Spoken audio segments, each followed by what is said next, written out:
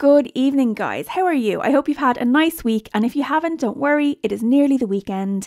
And welcome to our review, recap, chat, whatever you want to call it, of Married at First Sight UK. So tonight is Thursday night, it's episode 28, and it's the end of another week of MAFS UK. Tonight we saw the first episode of Homestay Week. We didn't get all the couples, so it will continue on Monday and possibly into Tuesday, but we got a few of the couples tonight and it was a bit of a slower episode. There's a few points that are worth talking about, so I will try and knock them out as briefly as I can. But just as a quick explanation, I'm sure everyone who's listening to this will already know, but Homestay Week basically sees our couples bringing their partner back to their hometown, introducing them to some family and friends, giving them bit of a taste of what their life is like outside of the experiment, and it gives them a chance to try it on for size, I suppose, like get an idea of what life might look like outside of the experiment if they did decide to progress and, you know, move closer together, which I'm sure never happens with any of these couples, but it is a very insightful um, task and it is worth doing. So let's start with Ella and JJ because Ella brings JJ home to this house that she shares with her nan. Her nan is so sweet. She's there in her fleecy, you know, blanket and her fleecy dressing gown and she's a firecracker like Ella didn't lick that off a stone. It obviously came from her nan. They're explaining to Ella's nan, you know, the whole situation of how they came to be a couple, and the nan is just so chill. She's like, Well, I don't even remember the other guy's name anyway, so that suits me down to the ground. And she's saying that she thinks JJ is very, you know, attractive. And then he goes off maybe to the kitchen or I don't know, somewhere. And Ella has a moment alone with her nan and she's kind of asking her, What do you think? And the nan just jumps straight to the sex and kind of says, Well, you know, once you're having sex with someone, you know straight away. And Ella confides, you know, well, we haven't had sex yet. And the nan is kind of like, mm, well, you know, you want to get on that because, you know, it's very important. So I like that. It kind of reminded me of my nan. She's a saucy minx too. And then they go to JJ's hometown. They kind of they don't see any of his family, but they go to his apartment. It's super Essexy, like it's glittery surfaces and all white and bling and mirrors and yeah, it's exactly what I pictured JJ's apartment to look like. and they go out to meet a friend of his for drinks. His friend is really sweet. Straight away, he's like, You're not Bianca. And then they, of course, have to repeat themselves and give him the overview of how they came to be. And Ella gets a little bit of reassurance from this friend because she says sometimes I can't read him and I might think that he's mad at me, but he's just being quiet. And the friend kind of says, I've known him years. That's what he's like. Don't worry. If he tells you he's okay, he actually is. He's just a chill dude. So Ella kind of takes a little bit of reassurance from that. But she excuses herself to go to the bathroom. And this gives JJ an opportunity to say to his friend, So, what do you think? You know, do you like her? And the friend asks, you know, well, do you see yourself going beyond the show basically with her? Like, what's the story? And JJ says that there's been a couple of occasions where they've gone out for drinks and Ella has gotten really drunk and said and done things that he didn't like and has caused arguments. We haven't seen any, like, we haven't heard anything about this. I would like very much to get a little bit more background on what that is all about and why the hell are we not seeing this on the show because I want to know what she said when she was drunk. I'm nosy like that. I want to know what exactly went down. So, personally, I think that they should throw privacy to the wind and give the people what they want. Tonight, we also see Tom and Roz do their homestay. So, they go to Thomas's house first. He brings her up to his, you know, childhood bedroom and She's just, she's such a minx. She's on the bed, she's testing out the springs. She's already thinking out loud and figuring out can I give your mum some extra antihistamine so that she'll fall asleep and we can maybe get a bit of uninterrupted sexy time? And it just cracks me up. So, yeah, and of course, she's going through his drawers the minute he leaves the room. Like, we would all do that, let's be honest. Thomas's mom is super cute.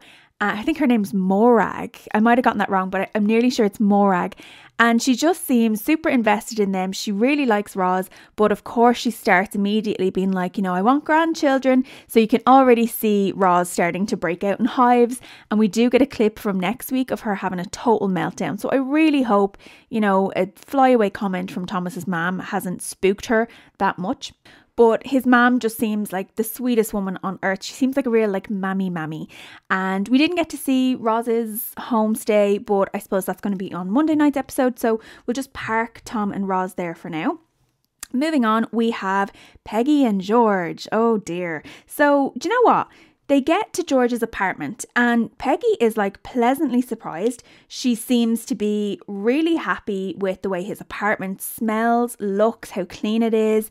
And like, I don't know what she was expecting, but she's happy anyway.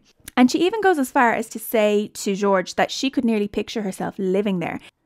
I couldn't believe that she said that, and George just seemed so happy and over the moon that she did say it. So, look, so far, so good.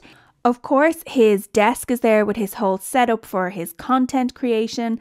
And, you know, she's like, oh, this is the desk. And he even jokingly, you know, makes a comment to her going, Do you want to do some squats?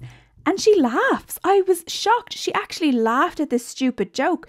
So, cut forward to the next morning, he's bringing her a cuppa in bed, and you know, they're all cuddles and smiles. And apparently, they did stuff. They didn't have full sex, shocker, but they did stuff. So, like god knows what that is like i i don't even think it's probably going to be the good stuff i'd say he probably got a little bit of titty action and a couple of strokes and that's all but he seems to be super happy and they're on the right path however this does not last long because peggy just cannot help herself so she starts kind of picking again. Like sometimes I feel like watching George trying to navigate a series of questions from Peggy is like watching a blind man walking through a forest covered in bear traps and you're just waiting for her to get him to say the wrong thing so she can latch onto it.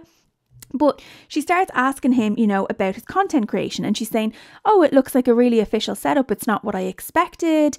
And it doesn't look as bad as I thought. So he says, Well, yeah, I'm very big on structure. I do my streams, I think like three days a week, like Monday, Tuesday, Wednesday, or something like that. And she's like, Okay. And how long do you do on these streams? And he kind of says, Well, generally I do about two or three hours. And then she is like, okay, okay. And you can see she's trying to figure out where she's going to go next. So she's asking him, you know, well, what if my sister wanted to go out with you and me and she wanted to go out on one of those nights that you stream on? And he's kind of like, well, if it was one of the nights that is my set night that I stream on, I probably wouldn't be able to go. So here she is, she has her in, she knows she has him. And she asks him, Well, what are your priorities? And George stupidly is like, well, let's see, I, I like to go to the gym, and obviously there's work, and I do my streaming, and then, you know, you, and you're nearly waiting for this trap door to open up underneath him, and this, you know, better look next time, George, fail. And she's taken this, you know, as she's not a priority at all. You know, she's at the bottom of the barrel, which is not really what he was saying. He was basically just listing all the different aspects of his life.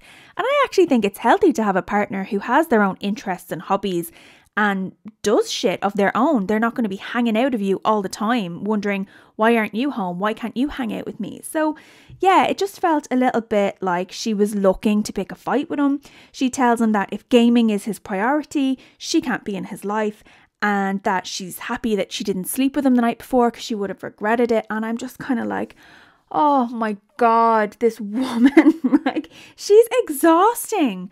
And I will bet you any money that if you ever get into her pants properly, which I don't think you will, she will not be good in bed. She does not strike me as someone who would be very good in the boudoir. I feel like it would be missionary in the dark when she's ovulating and it would be timed. So, look, George, get out of there, save yourself. And I'm very sad to say that this wasn't the worst homestay that we saw in this episode.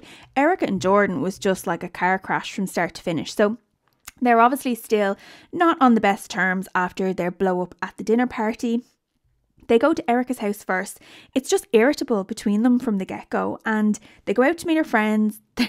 the friends make the mistake of asking them, you know, so how are things going with you guys? First question, first question out of the gate. They've barely sipped their drink. And they get the whole spiel and the rehashing of the argument about missing out on partner swap week and Erica having FOMO and feeling like she's not being heard by Jordan. And yeah, like she says her piece but then when he tries to speak, she doesn't let him get a sentence out. She just interrupts him and shouts over him that he's not listening to her. And it kind of feels like unless Jordan just says, sorry, sorry, sorry, sorry, sorry, no words matter. So, like, they're not getting anywhere. So, yeah, very tense. The next day, they meet the grandparents, so Erica's grandparents, who seem really, really cool. The nan kind of tells them to, you know, chill out. If you're going through a bad patch, just take a step back, reevaluate, hang on, see how you get on. You know, don't don't quit basically. Then they go over to Jordan's homestay and they meet his mum and, of course, his little dog. I don't know what dress his mother was wearing. I don't mean to be disrespectful to someone's mother. She is a beautiful woman. She is far from old. What the fuck are you wearing? Burn that dress immediately.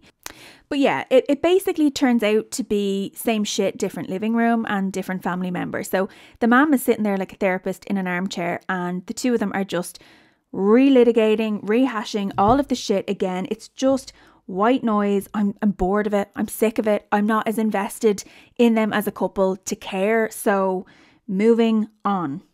The final couple that we get to see a homestay with this week is Laura and Arthur. And oh my, do you know what? I wanted to stand up and slow clap Arthur in this one because he is visiting Laura's hometown. So he's in Chelsea with her and he's going out to meet her two friends. We've met these two girls before. They were at the wedding. They came in the, you know, the in-laws week. And I did think that after they left on in laws week, as tough a time as they gave him, they were kind of saying to the camera after that, you know, that they seem like they're getting on well and they approve, which I remember at the time thinking that's weird because they didn't act that way. But I digress. So they're sitting down at dinner and, you know, they're asking Arthur, so what, where do you see this going? Or something really innocuous and general. And I think he gets like two or three sentences out and they just pounce. Like they're taking turns grilling him and trying to hold his feet to the fire, and no answer he's giving seems to be satisfactory. Like they're asking what happens when the experiment ends. He's saying, Well, you know, I, I think he said his parents have a house uh, nearby, he's going to stay there for a few weeks and figure it out and see how it goes. But no, this is not sufficient for them. They feel that he's unsure about his intentions. They don't think that he's very clear on how he feels. And I'm kind of like, calm down, because Laura doesn't seem to be very clear and confident on their future either. Like, they're figuring it out. I don't think that that's a bad answer. I don't think it's a wrong answer. And Laura kind of chimes in and says to Arthur, you know, maybe watch how you speak to my friends, or, you know, your delivery could be softer, or something to that effect. And I'm kind of thinking, are you not seeing how your two hyena friends are like coming at him? What the hell? Like, what is this? And he stands up to them. And I love that he stands up to them. And he just says, like, I feel very attacked. I feel that you're judgmental, that you're just coming at me and that he's not here to impress them. Laura is the one that he cares about and wants to impress. And they're like throwing their heads back and laughing at the notion that he doesn't feel that he needs to impress them. And they're asking him again, you know, do our opinions not matter to you? And he says, no, they don't. And they are disgusted. They are disgusted that this guy does not know his place and doesn't seem to value their opinions. And they have no problem speaking very bluntly to Laura about him, saying that he's a dickhead, he's not serious, he's not speaking to them correctly, nobody should be speaking to her like that, the one on the left that has the mouth that looks like a baboon's arsehole. Like she's hugely offended by the fact that Arthur has had the audacity to kind of push back on them and say, you know, slow your roll there, girls. And Laura kind of just sat there through the whole thing and she didn't say a word to defend Arthur. And I'm just thinking, like, the amount of shit that everyone else was throwing at Laura, and Arthur was nearly jumping in front of the bullets for her and he was defending her every step of the way. Like he on our last episode, we saw him like preemptively take the blame for all the stuff people were slinging at Laura.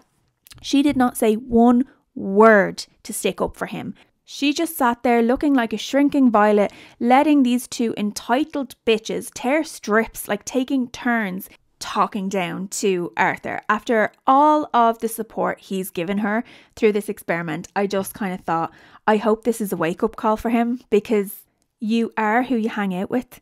And those two women sitting across the table are vile. And there is every chance in the world that if they're her nearest and dearest, that they're all cut from the same cloth. So I think Arthur should just get out while he can. But yeah, I just felt really icky after seeing that scene. And that was really the majority of the episode. I don't think anything else of note really happened.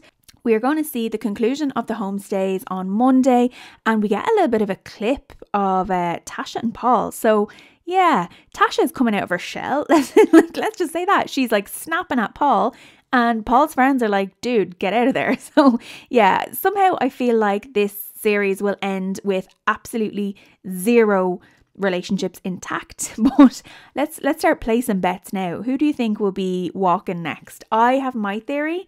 I'm going to say Laura and Arthur. I don't know if that's wishful thinking, but I just feel like Laura and Arthur will be next to throw in the towel.